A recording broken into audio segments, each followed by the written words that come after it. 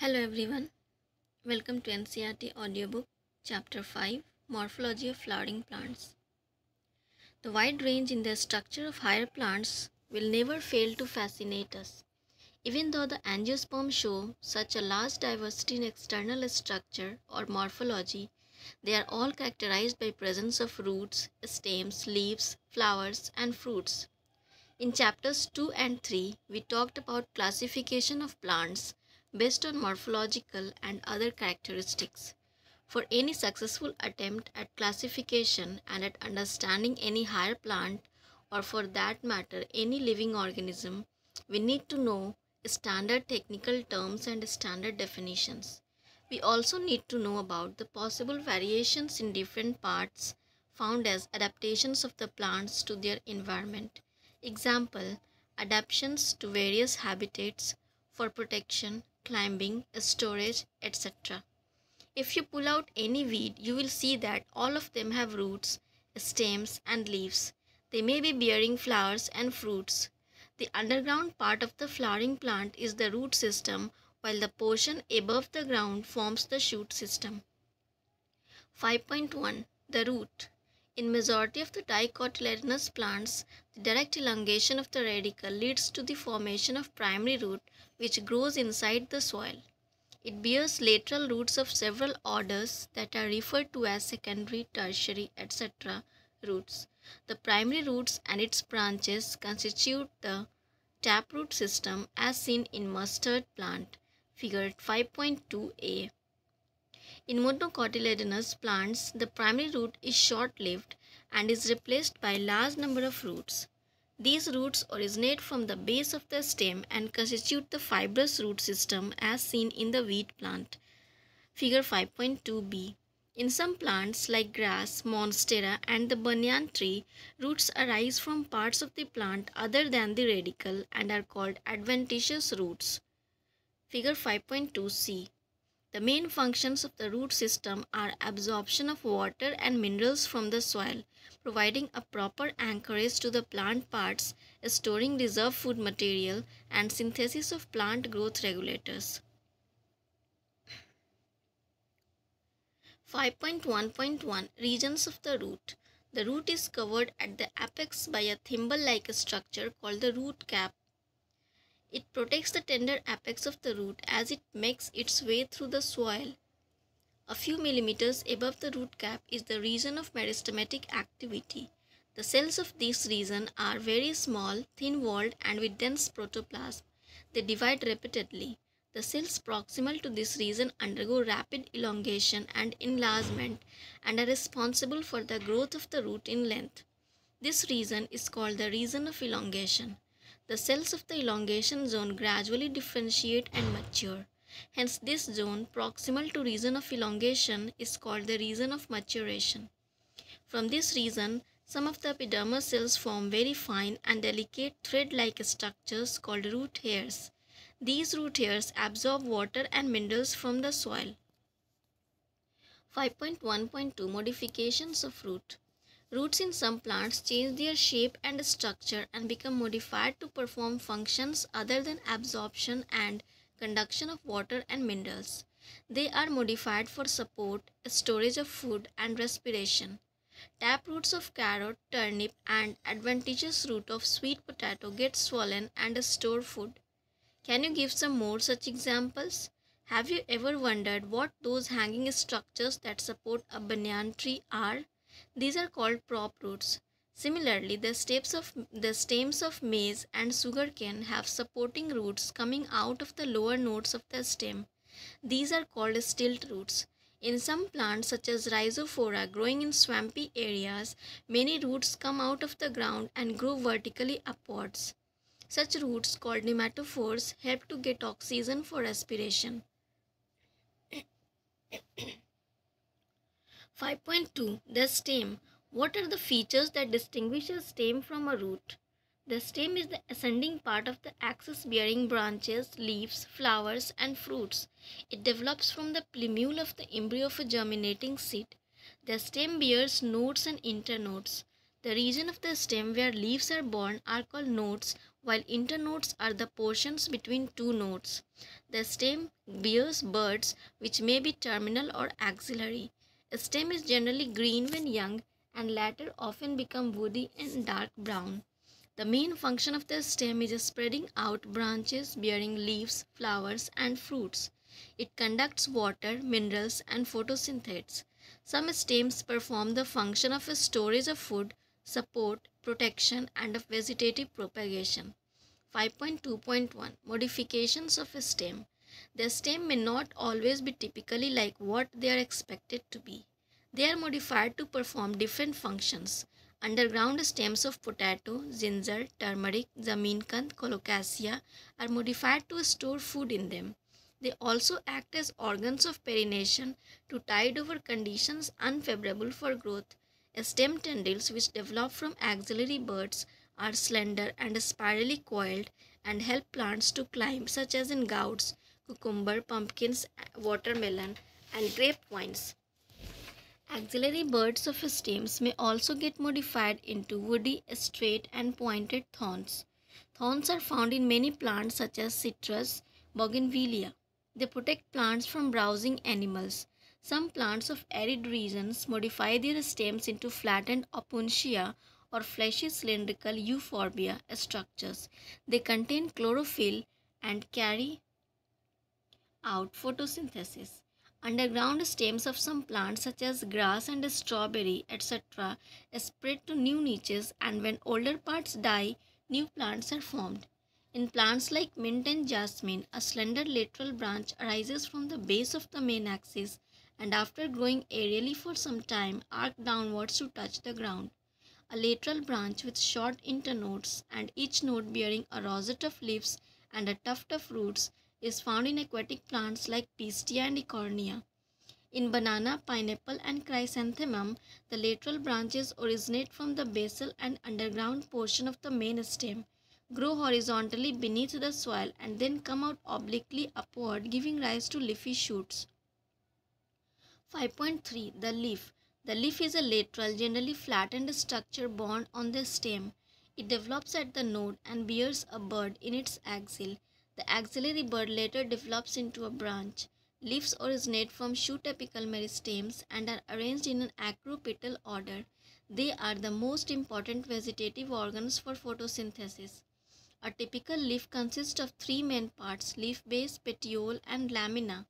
The leaf is attached to the stem by the leaf base and may bear two lateral small leaf-like structures called stipules. In monocotyledons, the leaf base expands into a sheath covering the stem partially or wholly. In some leguminous plants, the leaf base may become swollen, which is called pulvinus. The petiole help hold the blade to light. Long, thin, flexible petioles allow leaf blades to flutter in wind, thereby cooling the leaf and bringing fresh air to leaf surface. The lamina or the leaf blade is the green expanded part of the leaf with veins and veinlets. There is usually a middle prominent vein which is known as the midrib. Veins provide rigidity to the leaf blade and act as channels of transport for water, minerals and food materials. The shape, margin, apex, surface and extents of incision of lamina varies in different leaves. 5.3.1 Venation The arrangement of veins and the veinlets in the lamina of leaf is termed as venation. When the veinlets form a network, the venation is termed as reticulate. When the veins run parallel to each other within a lamina, the venation is termed as parallel. Leaves of dicotyledonous plants generally possess reticulate venation while parallel venation is the characteristic of most monocotyledonous. 5.3.2 Types of leaves The leaf is said to be simple when its lamina is entire or when incised, the incisions do not touch the midrib. When the incisions of lamina reach up the mid, reach to the midrib, breaking it into a number of leaflets, the leaf is called compound. A bud is present in the axil of petiole in both simple and compound leaves but not in the axil of leaflets of the compound leaf. the compound leaves may be of two types. In a pinnately compound leaf, a number of leaflets are present on a common axis, the rachis, which represents the midrib of the leaf as in neem. In palmately compound leaves, the leaflets are attached at a common point that is at the tip of petiole as in silk cotton. 5.3.3 Phyllotaxy Phyllotaxy is the pattern of arrangement of leaves on the stem or branch. This is usually of three types alternate, opposite, and whorled. In alternate type of phyllotaxy, a single leaf arises at each node in alternate manner as in China rose, mustard, and sunflower plants. In opposite type, a pair of leaves arise at each node and lie opposite to each other as in calotropis and guava plants. If more than two leaves arise at a node and form a whorl, it is called whorled as in Alstonia. 5.3.4 Modifications of leaves Leaves are often modified to perform functions other than photosynthesis.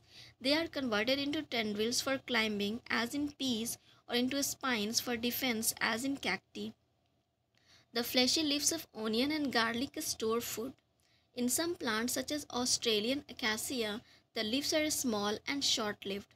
The petioles in these plants expand, become green and synthesize food. Leaves of certain insectivorous plants such as pitcher plant, Venus flytrap are also modified leaves. 5.4 The inflorescence A flower is a modified shoot wherein the shoot apical meristem changes to floral meristem. Internodes do not elongate and the axis gets condensed. The apex produces different kinds of floral appendages laterally at successive nodes instead of leaves. When a shoot tip transforms into a flower, it is always solitary. The arrangement of flowers on the floral axis is termed as inflorescence. Depending on whether the apex gets developed into a flower or continues to grow, two major types of inflorescence are defined, racemose and cymose.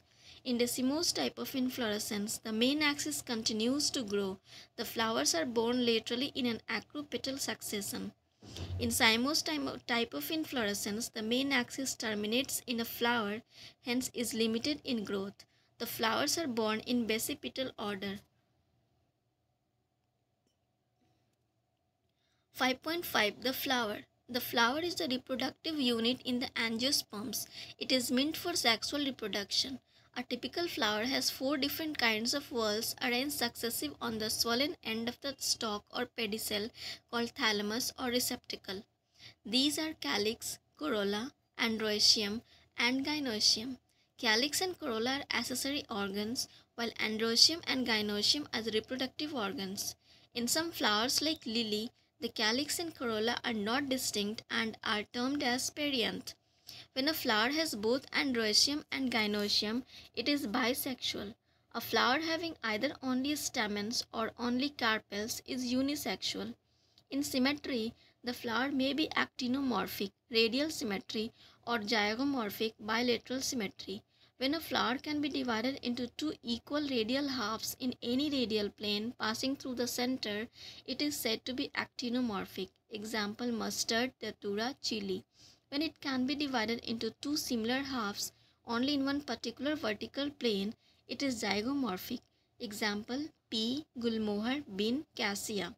A flower is asymmetric, irregular if it cannot be divided into two similar halves by any vertical plane passing through the center, as in canna.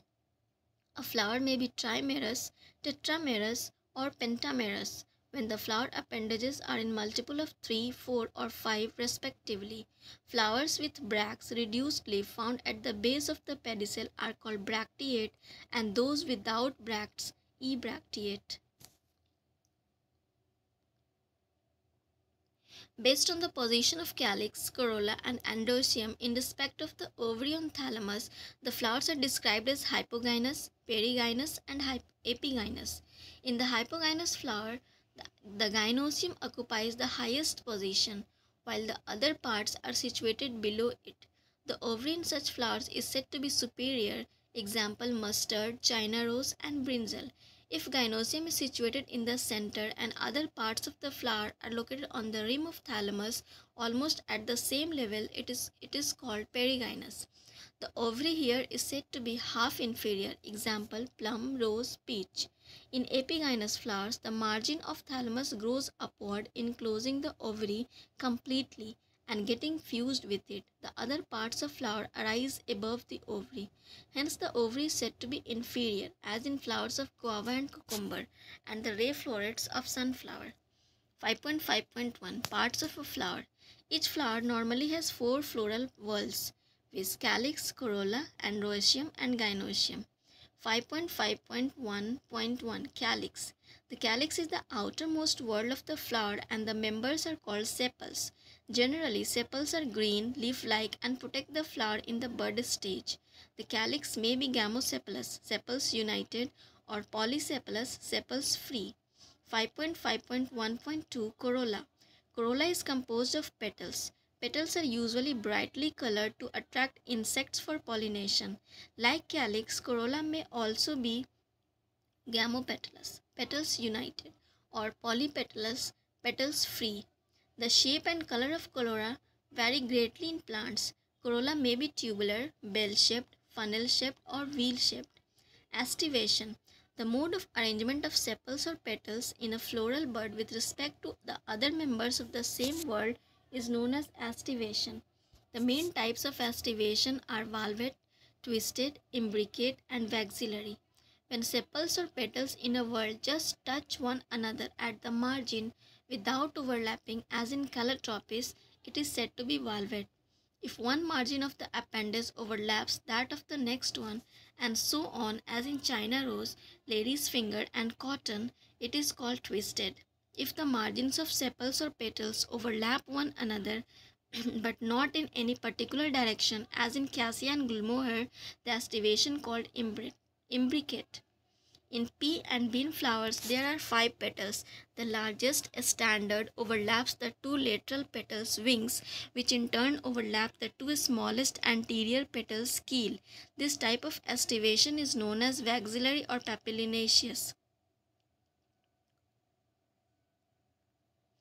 5.5.1.3 Androecium Androecium is composed of stamens. Each stamen which represents the male reproductive organ consists of a stalk or a filament and an anther. Each anther is usually bilobed and each lobe has two chambers, the pollen sacs. The pollen grains are produced in pollen sacs. A sterile stamen is called a staminode. Stamens of flower may be united with other members such as petals or among themselves. When stamens are attached to the petals, they are epipetalous as in brinjal or epiphyllous when attached to the perianth as in the flowers of lily. The stamens in flower may either remain free, polyandrous or may be united in varying degrees.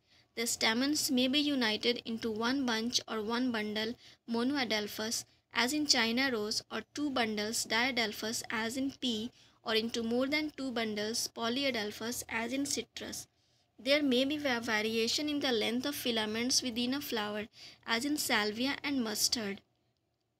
5.5.1.4 Gynoecium Gynoecium is the female reproductive part of the flower and is made up of one or more carpels. A carpel consists of three parts namely stigma, style and ovary. Ovary is the enlarged basal part on which the, uh, lies the elongated tube, the style. The style connects the ovary to the stigma. The stigma is usually at the tip of the style and is the receptive surface for pollen grains. Each ovary bears one or more ovules attached to a flattened cushion-like placenta. When more than one carpel is present, they may be free, as in lotus and rose, and are called apocarpous.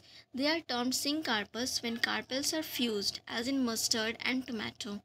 After fertilization, the ovules develop into seeds and the ovary matures into a fruit. Placentation. The arrangement of ovules within the ovary is known as the placentation. The placentation are of different types namely marginal, axial, parietal, basal, central and free central. In marginal, the placentation, the placenta forms a ridge along the ventral suture of the ovary and the ovules are borne on this ridge forming two rows as in pea. When the placenta is axial and the ovules are attached to it in a multilocular ovary, the placentation is said to be axial as in China rose, tomato and lemon. In parietal placentation, the ovules develop on the inner wall of the ovary or on peripheral part ovary is one chambered, but it becomes two chambered due to the formation of the false septum. Example mustard and argemone. When the ovules are born on central axis and septa are absent, as in dianthus and primrose, the placentation is called free central. In basal placentation, the placenta develops at the base of ovary and a single ovule is attached to it, as in sunflower marigold. 5.6 The fruit. The fruit is a characteristic feature of the flowering plants. It is a mature or ripened ovary developed after fertilization. If a fruit is formed without fertilization of the ovary, it is called a parthenocarpic fruit. Generally, the fruit consists of a wall or pericarp and seeds. The pericarp may be dry or fleshy. When pericarp is thick and fleshy, it is differentiated into the outer epicarp, the middle mesocarp, and the inner endocarp. In mango and coconut, the fruit is known as a drupe. They develop from monocarpellary superior ovaries and are one-seeded. In mango, the pericarp is well differentiated into an outer thin epicarp, a middle fleshy edible mesocarp, and an inner stony hard endocarp. In coconut, which is also a drupe, the mesocarp is fibrous. 5.7 The seed. The ovules after fertilization develop into seeds. A seed is made up of a seed coat and an embryo. The embryo is made of a radicle and embryonal axis and one, as in wheat maize, or two cotyledons, as in gram and pea. 5.7.1 Structure of dicotyledonous seed. The outermost covering of a seed is the seed coat. The seed coat has two layers, the outer testa and the inner tegmen. The hilum is a scar on the seed coat through which the developing seeds were attached to the fruit. Above the hilum is a small pore called the micropyle. Within the seed coat is the embryo consisting of an embryonal axis and two cotyledons. Two cotyledons. The cotyledons are often fleshy and full of reserve food materials. At the two ends of the embryonal axis are present the radicle and the plumule. In some seeds such as castor, the endosperm formed as a result of double fertilization is a food storing tissue and called endospermic seeds.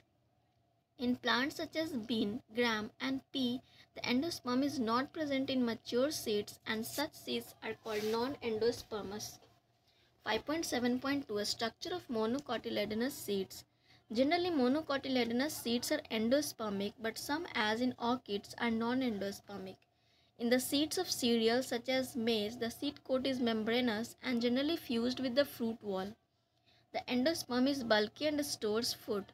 The outer covering of endosperm separates the embryo by a proteinous layer called aleurone layer. The embryo is small and situated in a groove at one end of the endosperm. It consists of one large and shield-shaped cotyledon known as scutellum and a short axis with a plumule and a radicle. The plumule and radicle are enclosed in sheaths which are called coleoptile and coleorrhea respectively. 5.8 Semi-technical description of a typical flowering plant. Various morphological features are used to describe a flowering plant. The description has to be brief in a simple and scientific language and as presented in a proper sequence. The plant is described beginning with its habit, vegetative characters, roots, stems and leaves, and then floral characters, inflorescence and flower parts. After describing various parts of plant, a floral diagram and floral formula are represented. The floral formula is represented by some symbols. In the floral formula, BR stands for bracteate, K stands for calyx, C for corolla, P for perianth, A for androecium, and G for gynoecium. G under bar for superior ovary and G over bar for inferior ovary. The symbol for male and the given symbol for female given symbol for bisexual plants and the given symbol for actinomorphic and the given symbol for zygomorphic nature of flower. Fusion is indicated by enclosing the figure within bracket and adhesion by a line drawn above the symbols of floral parts. A floral diagram provides information about the number of parts of a flower, their arrangement and the relation they have with one another. The position of the mother axis with respect to the flower is represented by a dot on the top of the floral diagram. Calyx, corolla, androecium and gynoecium are drawn in successive whorls, calyx being the outermost and the gynoecium being the center. Floral formula also shows cohesion and adhesion within parts of whorls and between whorls. The floral diagram and floral formula in, in figure 5.20 represents the mustard plant family Brassicaceae.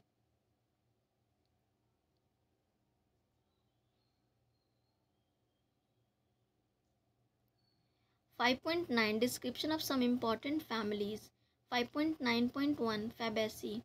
This family was earlier called Papilionoideae, a subfamily of family Leguminosae. It is distributed all over the world. Vegetative characters trees, shrubs, herbs, root with root nodules, stem erect or climber, leaves alternate, pinnately compound or simple, leaf base, pulvinate, stipulate, venation reticulate.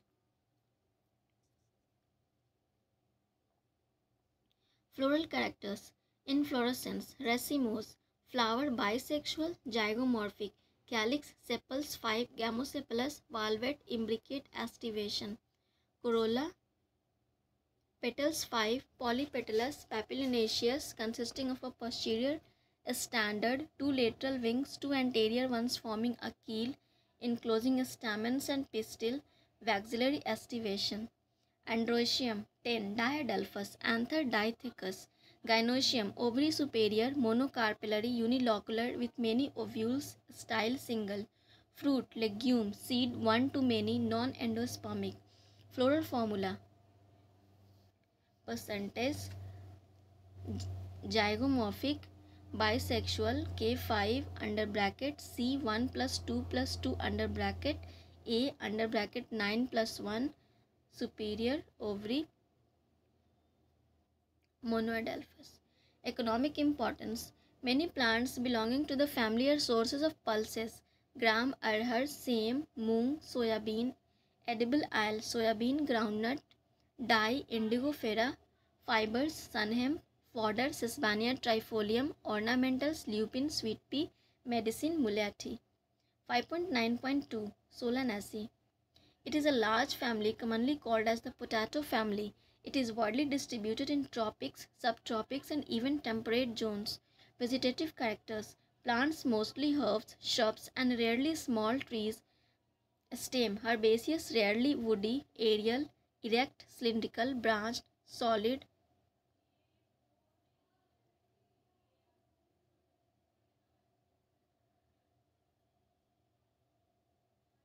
or hollow, hairy or glabrous underground stem in potato, Solanum tuberose.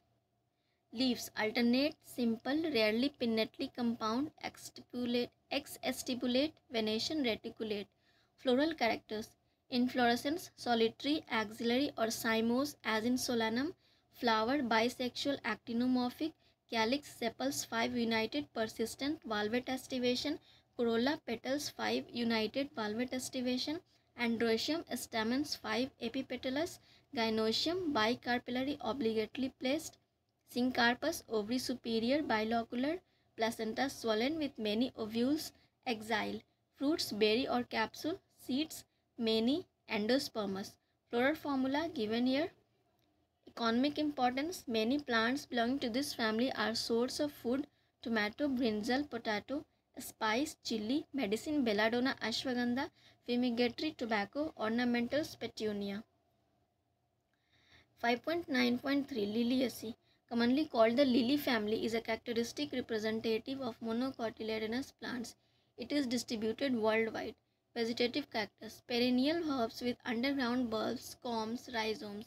Leaves, mostly basal, alternate, linear, exstipulate, with parallel venation. Floral characters, Inflorescence solitary, cymose, often umbellate clusters. Flower bisexual, actinomorphic. Perianth tepal 6 3 plus 3, often united into tube. Valvate aestivation.